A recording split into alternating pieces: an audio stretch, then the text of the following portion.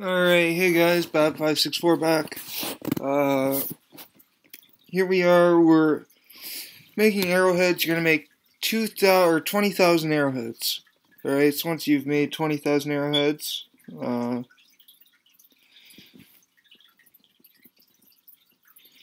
you want to Bab564 add me up. Yeah, there you go.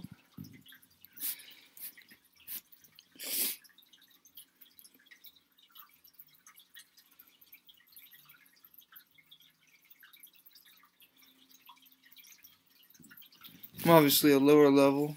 I've restarted. This is lower level ways of making money. Sell swords for 100 each. There we go. There we go. Sell uh, medium bronze, plated bronze, medium plated bronze. There we go. And we go to the arrowheads. Max with that. 500.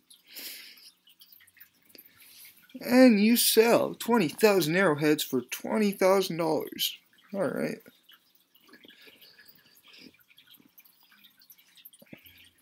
Five thousand, four thousand, three thousand, one thousand left. Alright. So 21k. Alright, so that's how you make 20k. Alright, thank you for watching.